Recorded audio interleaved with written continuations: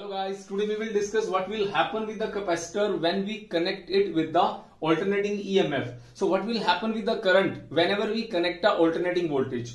So I is equals to dq by dt, put the value of q is equals to c into e and e is equals to e naught sine of omega t. Differentiate it with respect to time, you will get the value of i is equals to c e naught cos of omega t dot omega and i is equals to e naught by 1 by omega c. You can write it as well 1 by omega c. 1 by omega c is what is the capacitive reactance or in the other words the resistance offered by the capacitor. So E naught by Xc is the value becomes I naught we, we may write it as the cos of omega t is i is equals to i naught sine of omega t plus pi by 2. So it means the i leads with the pi by 2 to the voltage is E is equals to E naught sine of omega t. So phasor diagram of the wave or the waveform, something like that. The E naught is at an angle omega t and I naught is omega t plus pi.